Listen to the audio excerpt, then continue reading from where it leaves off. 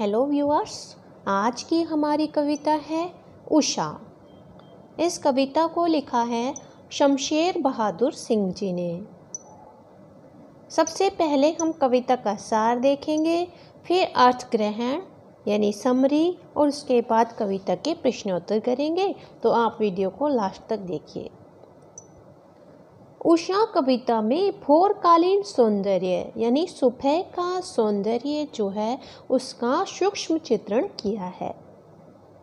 सुबह होने से पहले आकाश का रंग बिल्कुल नीला हो जाता है। कैसा हो जाता है? नीला और वो भी तुलना किससे की है? शंख से। मानो कोई शंख हो। थोड़ी देर बाद उसमें नमी इस तरह साकार हो जाती है कि वह पहले राख से लिपे हुए चौक सा प्रतीत होता है। सुबह सवेरे का वर्णन कैसे किया है? राख से लिपे हुए चौक से इसकी तुलना की है। प्रातःकालीन जो समय होता है, उसकी। कुछ देर बाद सूरज की लाली उसमें ऐसे मिल जाती है कि वातावरण लाल केसर से धुली काली सिल जैसा जान पड़ता है। या यूँ लगता है मानो काली स्लेट पर किसी ने लाल खड़िया चाक मल दी हो। और कुछ देर बाद सूरज का प्रकाश प्रकट हो जाता है, यानी सूर्य उदय हो जाता है। तब आकाश में उगती हुई श्वेतता यूँ लगती है, मानो नीले जल में किसी की गोरी देह झिलमिला रही हो। आकाश की जो वाइटनेस है वो कैसी लगती है? मानो नीले जल में किसी की गोरी देह झिलमिला रही हो, यानी कोई गोरे शरीर वाला व्यक्ति स्नान कर रहा हो। सूर्योदय होने पर उषा का सारा सौंदर्य समाप्त हो जाता है। उषा काल मतलब सूर्य उगने से पहले का जो काल है। इस प्रकार उषा का सौंदर्य पल प्रतिपल बदलता रहता है। शुरुआत करते हैं कविता की। प्रातः नभता बहुत नीला, शंख जैसे भोर का नभ। राख से लीपा हुआ चौका अभी गीला पड़ा है। यानी कि प्रातःकालीन आकाश का रंग गहरा नीला था। शंख के समान गहरा नीला। उसके बाद भोर हुई भोर के समय नीला रंग थोड़ा मंदा पड़ गया और वातावरण की नमी दिखाई देने लगी। ऐसा लगा, मानो आकाश ना हो, बल्कि राख से लीपा हुआ गीला चौक हो। नमी के कारण गीलापन था और राख सा गहरा था रंग। भोर के समय वातावरण ना तो गहरा काला होता है और ना उजला। उसका रंग नीले शंख जैसा बुझा बुझा प्रतीत होता है। इसलिए नीले शंख की उपमा सुंदर जान पड़ी है। राख से लिपे जाने का रंग गहरा सुरमई होता है। भोरकालीन वातावरण में भी ऐसा ही सुरमई होता है। इस कारण यह समानता सुंदर बन पड़ी है। प्रातःकालीन वातावरण में ओस और नमी होती है। गीले चौक में भी यही नमी है। इसलिए दोनों की समानता इस कविता में बताई है।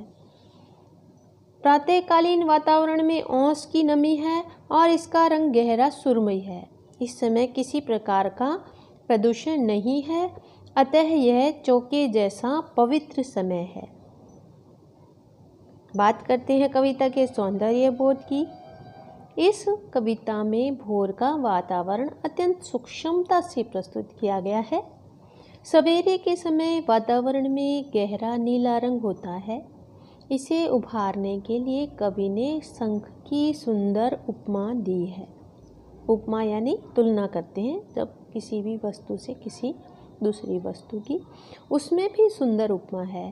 राख से लीपा हुआ गीला चौक। दोनों की उपमा हुई है। यह बिंब भोरकालीन गहरे रंग और नमी को साकार करता है। कवि को वातावरण चित्रण में अद्भुत सफलता मिली है। चौके के कारण कवि प्रातःकालीन पवित्रता को और भी उभार सका है। शंख जैसे, इन शब्दों में उपमा है। राख पड़ा है, इनमें भी उपमा है। अत्यंत सरल और लघु शब्दों का प्रयोग कविता में हुआ है। मौलिक कल्पना है। वर्णन में चित्रात्मकता है। अन्य पंक्तियों में कवि क्या कहता है? बहुत काली सिल जरा से लाल केसर से कि जैसे धुल गई हो। स्लेट पर या लाल खड़िया चकमल दी हो किसी ने। सिल यहाँ पर क्या है? जिससे मसाला पीसते हैं, वो वाला पत्थर सिल होता है। केसर एक प्रकार का सुगंधित फूल होता है। जो अधिकांशतः खाने बनाने में सुगंधित खाने को करने के लिए काम आता है। भोर के छुटपुटे में अंधेरे और सूरज की उगती हुई लाली का मिश्रण कैसा लगता है? मानो, बहुत गहरी काली सिल थोड़े से लाल केसर से धुल गई हो। थोड़ा सा केसर लगाते ही उसका कलर आ जाता है सिल पर। तो उसी प्रकार की जो भोर का छुटपुटा है, उसमें शुरू में जो सूरज की किरणें आ रही हैं वो इस प्रकार से लग रही हैं, जैसे काली सिल पर केसर हो। अंधेरा काली सिल जैसा प्रतीत हो रहा है, और सूरज की लाली कैसी लग रही है? केसर के समान। यह वातावरण ऐसा जान पड़ता है, मानो किसी ने काली स्लेट पर लाल खड़िया चाक मिट्टी। लाल खड़िया चाक मिट्टी होती है गेरू, जिसको बोलते हैं। आमतौर पर पहले के समय में इसे घरों की दीवार पोतने के काम में लिया जाता था। अंधेरा काली स्लेट के समान दिखाई देता है और सूरज की लाली चाक मिट्टी के समान दिखाई दे रही है। इस काव्यांश में कवि भोर के अंधेरे, छुटपुटे वातावरण में छाने वाली सूरज की हल्की हल्की लालिमा का दृश्य चित्रित कर रहा है। भोर काल में आकाश में कैसा अंधेरा होता है? सुरमई, जिसे काली सिल या स्लेट के जैसा बताया है। लाल केसर और लाल खड़िया चाक सूरज की उगती हुई लालिमा को चित्रित करते हैं। प्रातः काली, कालीन ओस और नमी धुलने के दृश्य द्वारा चित्रित किया गया है। धुलने के बाद जो गीलापन हमारे सामने आता है, वह काली सिल के लाल केसर से धुलने पर दिखाई देता है। इस पद्यांश में रात की कालिमा औस का गीलापन और सूरज की लालिमा के मिश्रण को बहुत ही सुंदर तरीके से बताया गया है। कवि ने कल्पना की है कि मानो रसोई में माँ ने सिलवट्टे को केसर से धो दिया हो, या बच्चों ने स्लेट पर लाल खड़िया चाक मिट्टी मल दी हो। दोनों उत्प्रेक्षाएँ नवीन हैं, नई हैं, मौलिक हैं जन रुचि के अनुकूल हैं। उत्प्रेक्षा अलंकार बहुत काली सिल हो गई है। स्लेट पर किसी ने इन दोनों में उत्प्रेक्षा है। काली सिल में अनुप्रास अलंकार है। अनुप्रास अलंकार क्यों है? लय की आवृत्ति हुई है। मुक्त छंद का प्रयोग हुआ है। इसकी भाषा अत्यंत ही सरल है।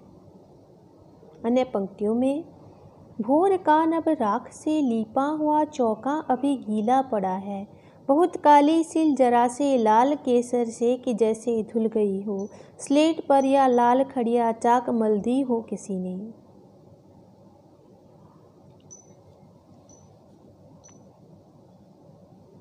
इसमें मुख्य भाव भोरकालीन वातावरण का सूक्ष्म चित्रण करना है। कवि ने उस समय के रंग को राख से लीपे हुए चौके से चित्रित किया है। इससे वातावरण की गहरी कालिमा और ओस साकार हो उठी है। बाद के दोनों उपमानों में स्लेटी रंग के साथ फूटते हुए सूर्य की लालिमा भी प्रवेश कर गई है। इस प्रकार यह वर्णन बहुत ही सूक्ष्म और सुंदर है। उपमा अलंकार का प्रयोग हुआ है। भोर का नव राख से लीपा हुआ चौका। उत्प्रेक्षा अलंकार जो है, बहुत काली सिल जरा से लाल केसर से कि जैसे धुल गई हो। भाषा प्रवाहपूर्ण है और अलंकारिक है। तीसरी, स्टेंजा में नील जल में या किसी की गौर झिलमिल देह जैसे हिल रही हो और जादू टूटता है, इस उषा का अब सूर्योदय हो रहा है। नीले जल यानी नीले रंग का पानी, गौर यानी गोरा। झिलमिल देह यानी चमकता हुआ शरीर, जादू यानी सौंदर्य या आकर्षण।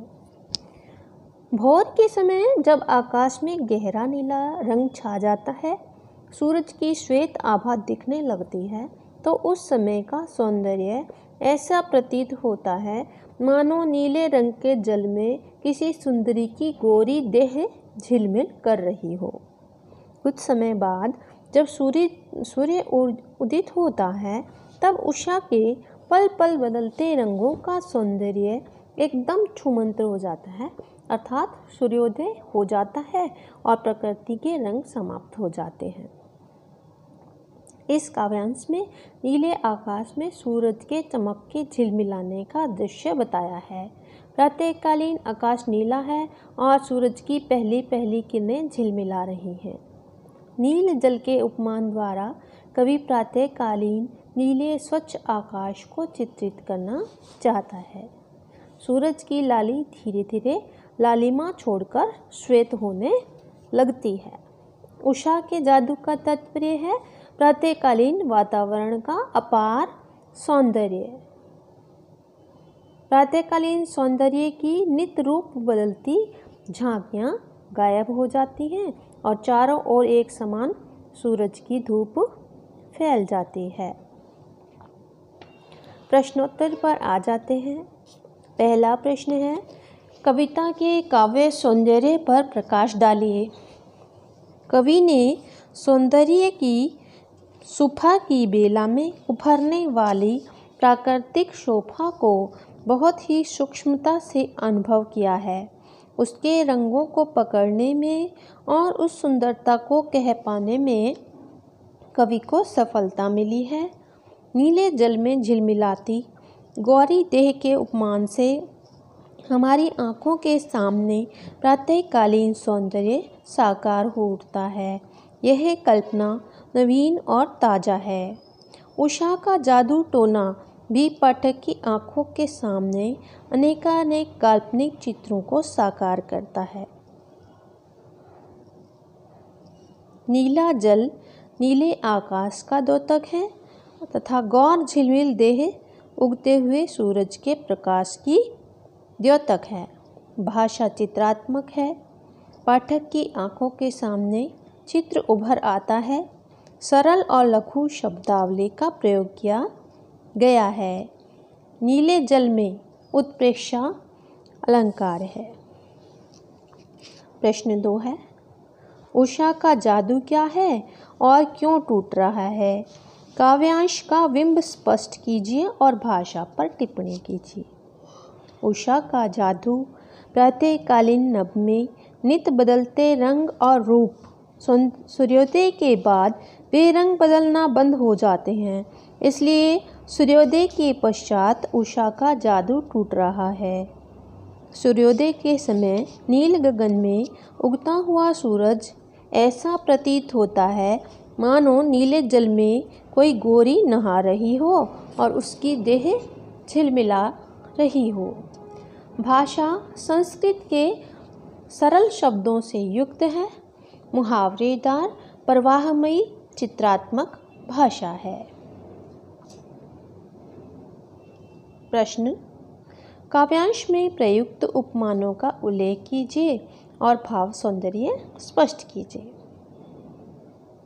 नीला शंख, प्रातःकालीन नभ के लिए प्रयोग हुआ है। राख से लिपा हुआ चौक, भोर के नभ के लिए।